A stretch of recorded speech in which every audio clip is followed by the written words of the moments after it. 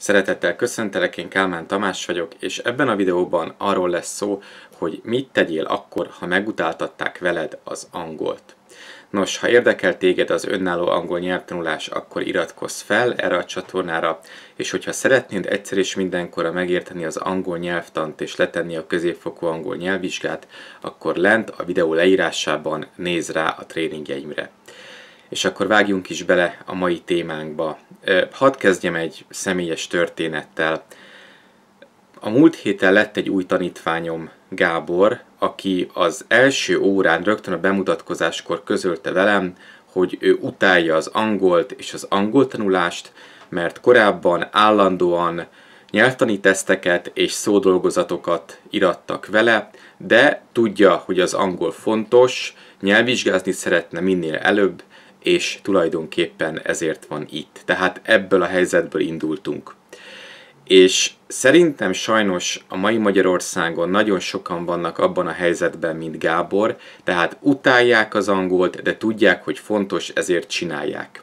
Úgyhogy nézzük meg, mit lehet tenni, ha te is esetleg ebben a helyzetben vagy, hogyan tudnád megszeretni az angolt és az angol tanulást.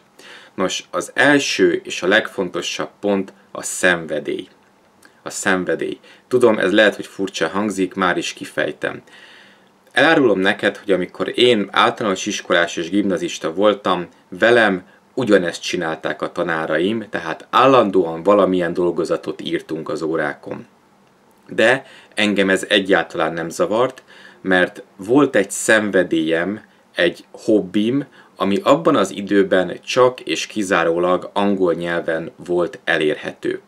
Sokan tudjátok rólam, hogy én nagy csillagok háborúja rajongó vagyok, és amikor elkezdtem az angol tanulást nagyon-nagyon régen, akkor volt egy családi barátunk, aki hozott nekem először Star Wars képregényeket, aztán később regényeket. Tehát én a szabadidőmben, ugye a hivatalos angol tanulás mellett ezeket olvastam és fordítottam, mert nagyon érdekelt, nagyon szerettem ezzel foglalkozni, és ö, nem gondoltam, hogy ez egy, ez egy nehézség, tehát nagyon kíváncsi voltam arra, hogy mi van ezekben a képregényekben és regényekben.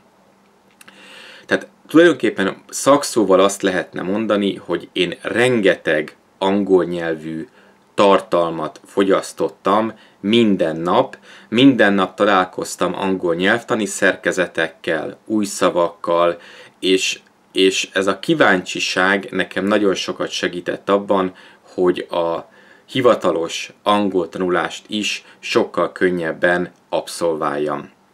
Nos, ma már ugye teljesen más a helyzet, nincs szükség külföldön élő rokonokra, meg külföldi barátokra, ha angol tartalmat akarsz szerezni, ezért azt, azt javaslom, hogy te is találj egy olyan szenvedélyt, egy olyan hobbit magadnak, amiről nagyon sok angol nyelvi információ érhető el a neten, és lehetőleg minimális magyar nyelvű, és ezeket az információkat kezd el olvasni és feldolgozni.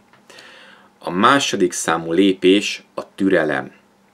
Nos, én nagyon sok olyan hirdetést látok az interneten, különböző nyelviskolák hirdetését, akik nagyon gyorsan ígérnek valamilyen nagyon-nagyon látványos eredményt az angol tanulással kapcsolatban. Például három hét múlva te folyékonyan fogsz angolul beszélni, ha eljössz ebbe az iskolába. Vagy egy hónap alatt meg fogod szerezni a nyelvvizsgát, ha eljössz ebbe a másik nyelviskolába. Most én pontosan értem, hogy ez marketing, mindenki el akarja adni a saját képzését és a saját uh, tréningjeit, a saját portékáját, de tudnod kell, és erről elég keveset beszélnek még a nyelvtanárok is, mert, mert nem egy trendi kifejezés és egy trendi dolog, hogy ez az egész angol tanulás, ez nem egy sprint, hanem egy maraton. Sokkal inkább. És ezt szeretném megismételni, tehát ez nem sprint, hanem inkább maraton. Ezért én azt javaslom neked, hogy légy türelmes saját magaddal, nincs baj azzal, ha négy hét alatt nem jutsz el a nulláról a középfokú szintre, sokkal fontosabb, hogy szeresd az angolt, élvezd ezt a tanulási folyamatot, és lehetőleg minden egyes nap vagy legalább egy héten háromszor vagy négyszer foglalkozz az angol nyelvvel. És megint hadd mondjak el egy nagyon személyes dolgot magamról. Én 8 évesen kezdtem el angolul tanulni, tehát több mint 25 esztendeje, több mint negyed százada foglalkozom az angol nyelvvel, de én is a mai napig, a mai napig tanulok új dolgokat. Slang kifejezéseket, közmondásokat, stb. stb. stb. Tehát ez az egész tanulási folyamat még nálam sem ért véget, pedig én angol tanár vagyok.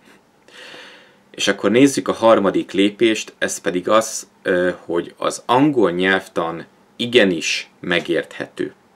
Nos, a diákok túlnyomó többségének az angol nyelvtan, a 12 igeidő, a szenvedő szerkezet meg a feltételes mód jelenti a legnagyobb mumust, a legnagyobb félelmet. És ebben bizonyos mértékig az angol tanárok is ludassak. Amikor óralátogatáson vagyok és más kollégákat nézek, nagyon gyakran látom azt, hogy egy angol tanár mondjuk a gesztusaival, a hangjával, a testbeszédével azt kommunikálja a diákok felé, hogy ez az egész angol nyelvtan nagyon nehéz, szinte felfoghatatlan a magyar ember számára, de azért tegyünk egy próbát.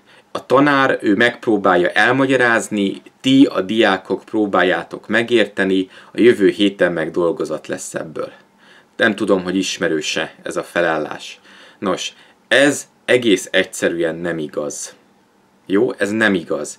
Tehát az angol nyelvtant igenis el lehet úgy magyarázni a magyar diákoknak, hogy a diákok megértsék azt.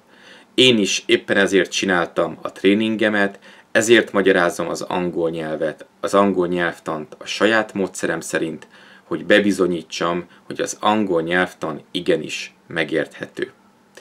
Nos, a videó végén én köszönöm a figyelmet, remélem, hogy hasznosnak találtad. Kérlek, hogy oszd meg barátaiddal és ismerőseiddel, hogy ők is tudjanak belőle profitálni. Még egyszer köszönöm a figyelmet, viszlát legközelebb!